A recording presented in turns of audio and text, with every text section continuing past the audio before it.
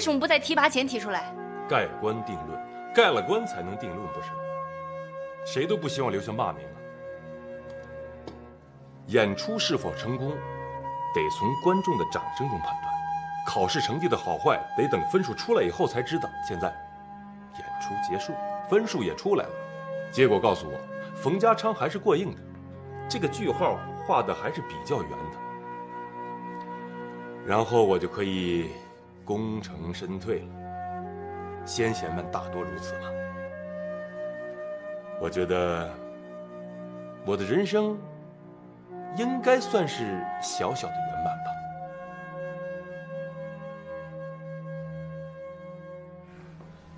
自打我到了机关，你没少照顾我，结果会是这个样子，对不住了，来，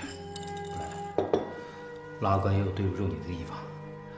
上回提做训处副处长那事儿啊，我在底下给你做过手脚，在这里我向你赔个不是。老哥，就当是上牙磕了下牙了，不提了。来，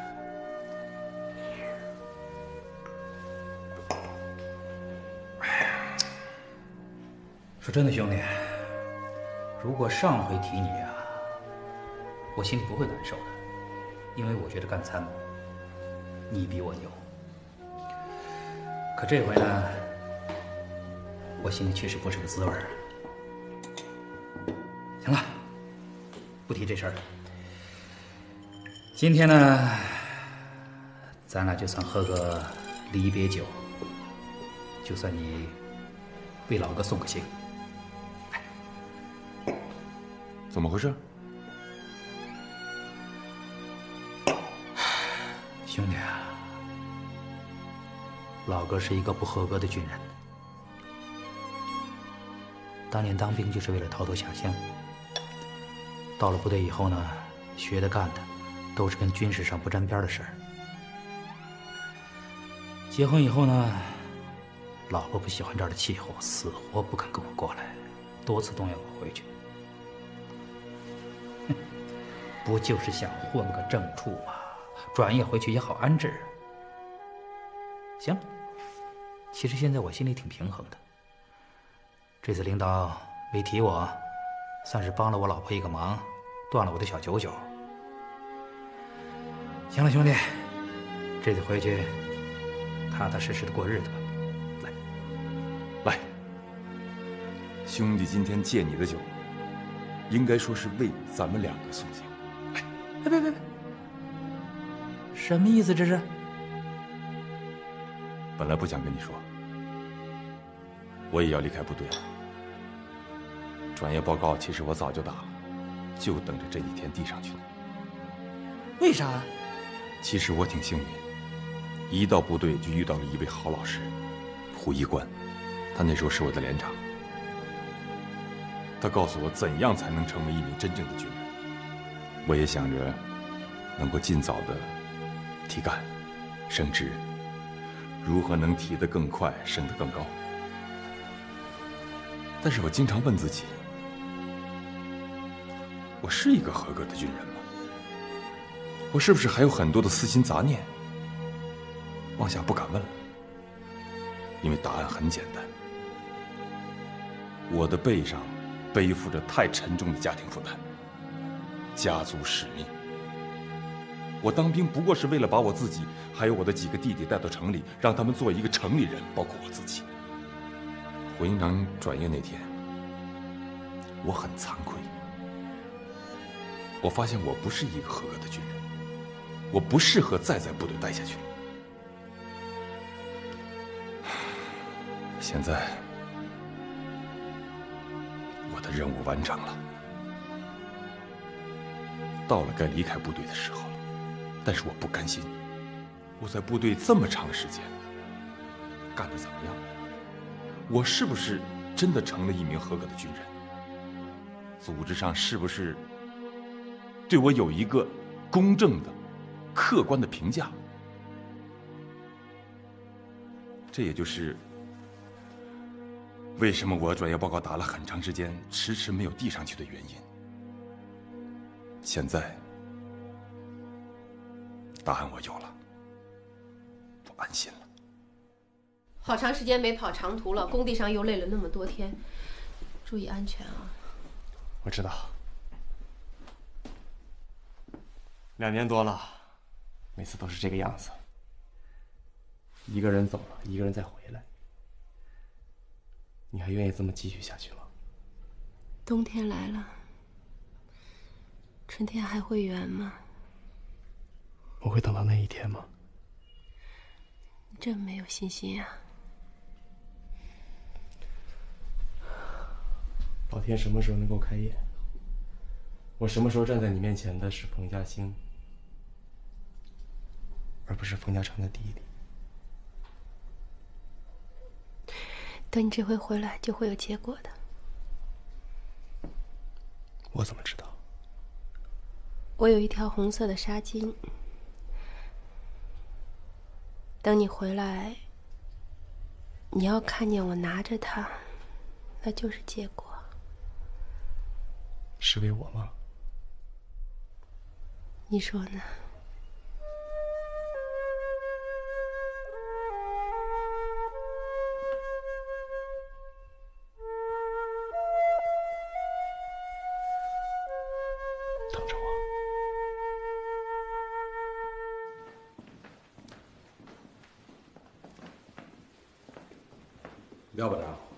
没想到您这么快就来了啊！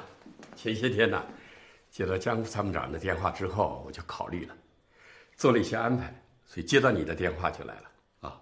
我总觉得是个人才，您也早就着手培养过，江副参谋长也很欣赏，就这么放走了，总觉得是个损失，所以就给您汇报一下，想听听您的意见。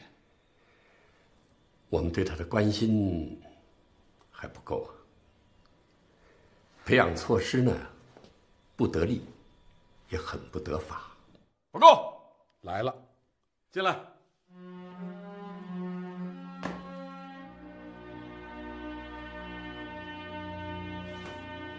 廖部长，怎么提拔了也不打个招呼，让老头子沾点喜气？见面了还摆谱，不讲话，没脸见你。把头抬起来，让我看看有几分真诚。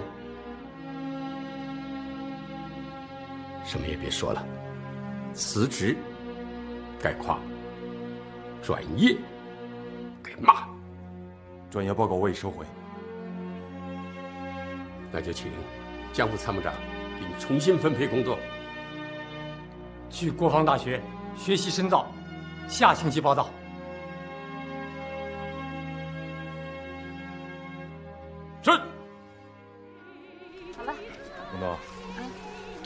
业的时候，我打算申请到基层部队做一个营长，怎么样？你怎么考虑？我要吃透咱们部队现在的办机械化，尝试在部队建立一支小规模的信息化部队，为全军的信息化建设打一个基础。我觉得你特男人。嗯，哎呀，我都我越来越爱你了。酸不酸？老夫老妻了，慢点跑好。啦，人家春节联欢晚会上，我们老两口牙都掉没了，还你亲我爱的，那是戏。戏来源于生活。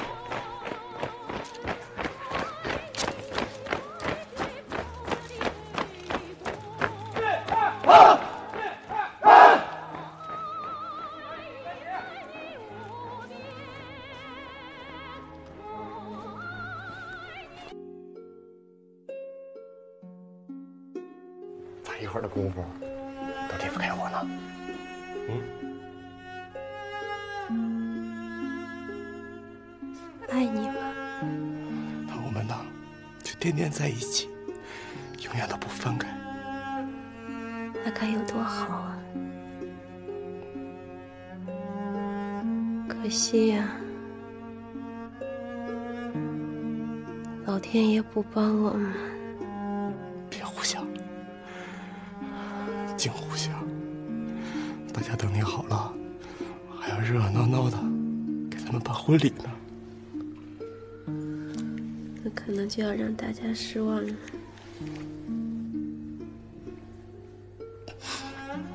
不会的，现在医学进步了很多，咱们呢，肯定能再创造一个奇迹的。有你在我身边，我就知足了。铁蛋儿，我耽误了你这么多年，对不起啊。听我说，我走了，你别顾忌什么，早早的娶一个好姑娘，当漂亮的，我会心疼你的。净胡说！谁会有你漂亮？没有人会比你好，没有人。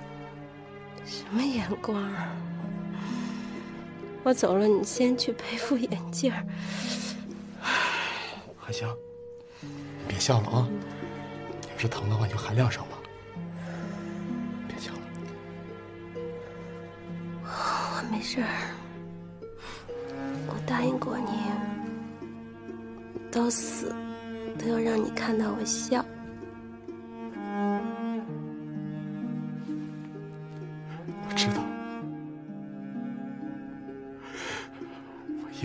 记住你的笑，一辈子。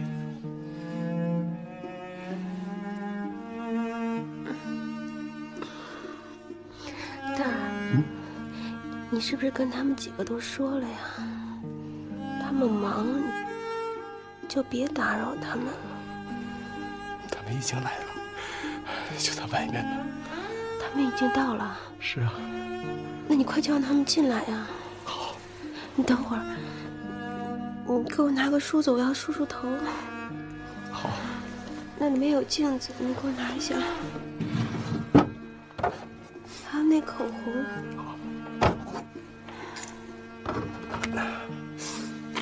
给我。咱们打扮漂漂亮亮的。我抹点口红。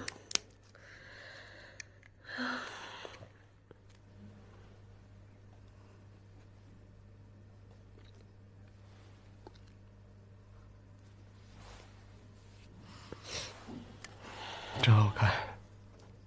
骗人。那我去叫他们啊。去吧。快去。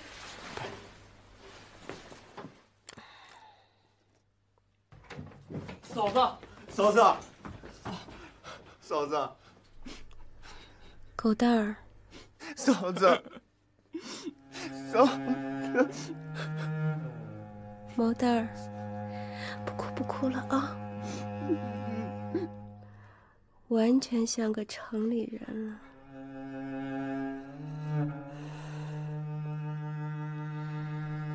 本来让你们俩回来。是想让你们参加我跟你二哥的婚礼的，对不起了，嫂子，你千万不能说对不起。这三个字，不认识你，不愧是军校的高材生，会说话了。钢蛋儿，你回来了。这是你妻子吧，韩香姐？对不起，果然比我好，该谢谢你了，不然太对不起我们铁蛋儿了。你不知道，铁蛋儿比他更早就喜欢上我了。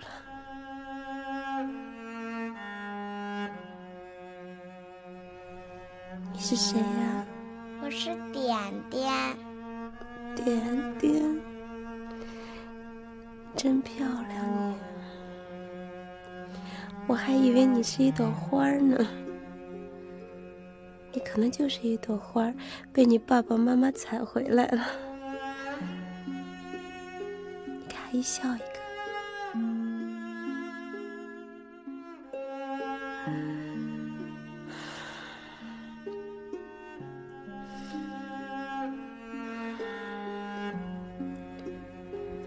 奔子，哎，铁蛋儿，你们两个人都过来。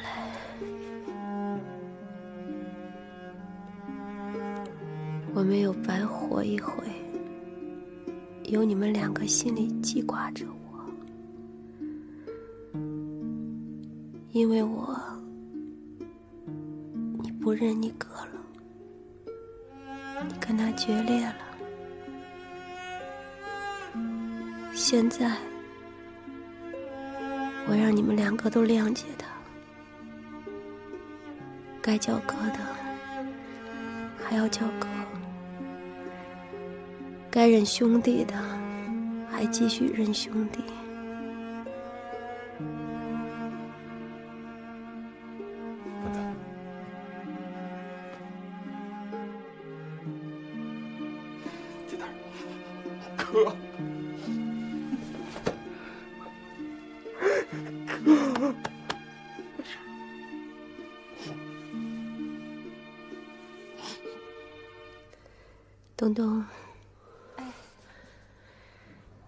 能跟钢蛋说几句话吗？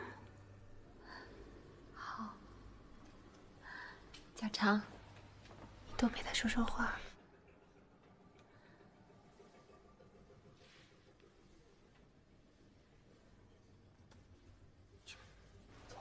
小狗蛋儿，你们都出去吧。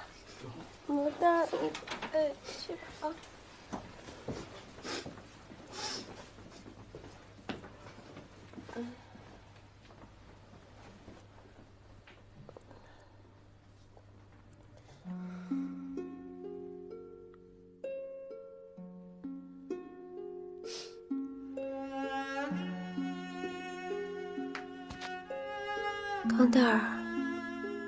也学会跪了？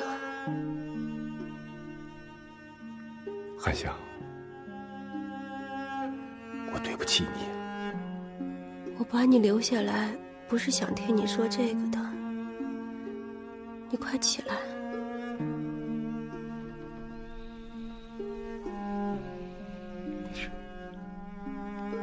我是想跟你说铁蛋儿的事儿。你是一个好大哥，铁蛋也听你的话。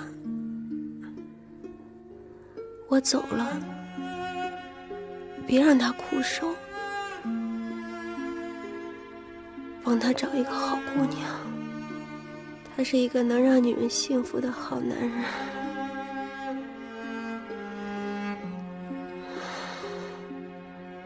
他心里面肯定忘不了我。经够了，答应我。我答应你。其实啊，我挺遗憾的，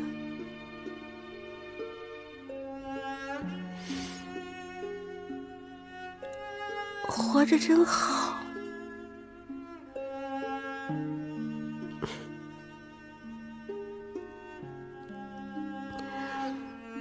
我真后悔，活着的时候没有用心的过每一天。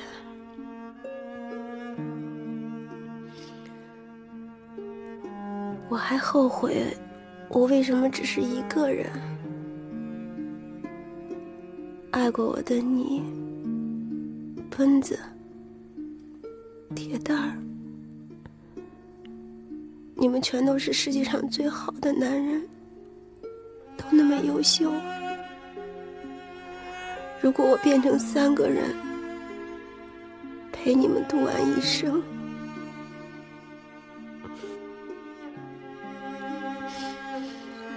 那我就活了三辈子了。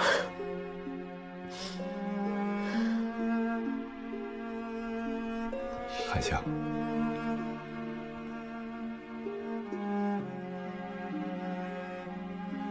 这一辈子只对不起一个人就是你。